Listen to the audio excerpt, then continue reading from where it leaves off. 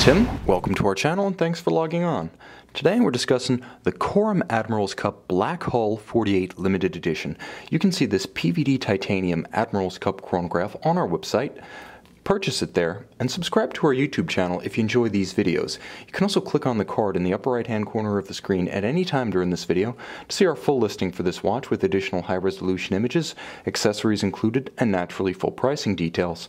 Now on my wrist, 6 and a third inches, 16 centimeters in circumference, you can see that the Black Hull 48 really lives up to its billing. It's huge, imposing, and monolithic. It's got a little bit of a 2001 vibe to it, but in titanium, it's also reasonably light. So here's the equation. If you like the oversized look, if you're considering something along the lines of a 44 millimeter Rolex Deep Sea Sea Dweller or a 45 millimeter Hublot Big Bang or even a King Power at 48, this watch offers good value, real substance, and a similar visual signature, visual impact on the wrist. Now, in terms of bare numbers, they're actually a little bit more reasonable than you might think. Perhaps the most outrageous number is the thickness of this watch. At 18 millimeters, it towers above the wrist. This is not going to clear any kind of cuff. Now, from lug to lug, the watch is more tidy than you might expect.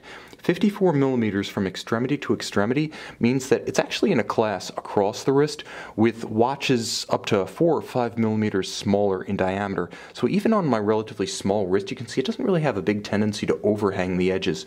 So proportionally, it works better than you might think. Now, as big and stark as it is, it's going to be a polarizing timepiece, but if bigger is better, this is pretty close to as good as it gets from a value standpoint. The watch is 48 millimeters across the nominal round portion of the case from 3 to 9, but because of the crown guards, crown, and chronograph pushers, uh, the watch really measures larger. Think of this one as a little bit closer to 50 millimeters in diameter. Again, because of the titanium, the watch wears fairly light.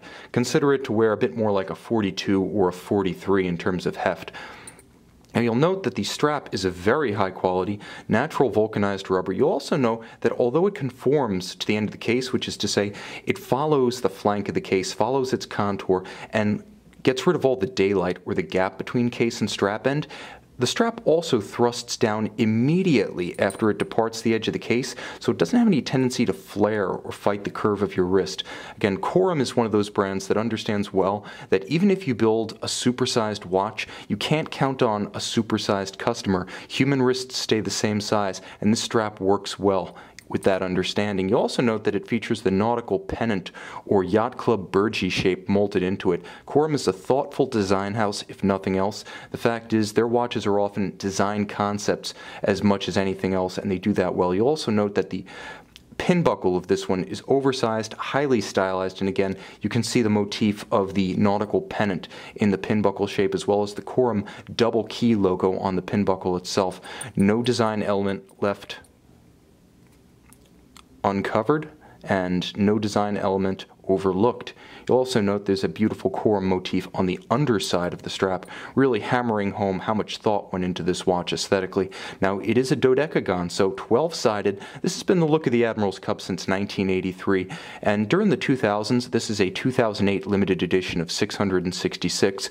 Devilishly good-looking, but during the 2000s, Corum decided to take the Admiral's Cup shape, that dodecagon, and scale it up, and the Hull 48 shape that you see right here is actually a little bit easier to read because it spreads the indications across the dial, and although it does have a date, three chronograph registers and subseconds at 9 o'clock, as well as both indices and Arabic numerals with a Corum marquee at 12 o'clock, it doesn't look crowded, and the faceted 12-sided chapter ring provides a nice visual transition down from the bezel to the dial base. You'll also note that across the center of the dial, there's a great deal of texture and visual articulation with the dual anchors of small seconds at 9 o'clock and chronograph minutes at 3 o'clock anchoring nicely with chronograph hours a less often referenced register, a little bit more discreet at 6 o'clock. Now the watch does feature a Valjoux 7753, which is to say it has that tri-register chronograph layout, the classic 3 o'clock, 6 o'clock, and 9 o'clock layout, but because it is shifted relative to a conventional 7750, Corum calls this the caliber 753. It features a pusher corrector on the case flank for adjusting the date. Now, it does retain many of the core underlying virtues of the 7750, including toughness, efficient unidirectional winding. Underneath this commemorative case back, it has a unidirectional winder that winds in, of course, one direction, the more efficient method as empirically proven, energizing a 42-hour power reserve.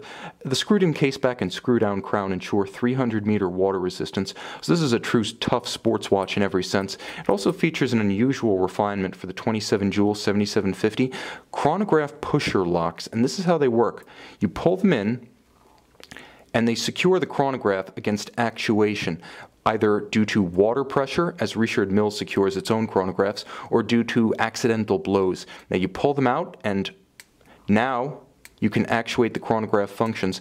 This is one of the few cases where I've seen a manufacturer include a special locking mechanism for chronograph pushers for security. To date, I've seen JLC, Richard Mille, and Corum do that. Not bad company for Corum of La Chaux de Fonds. You can see this Corum Admiral's Cup Black Hull 48, one of 666 made, and purchase it on our website.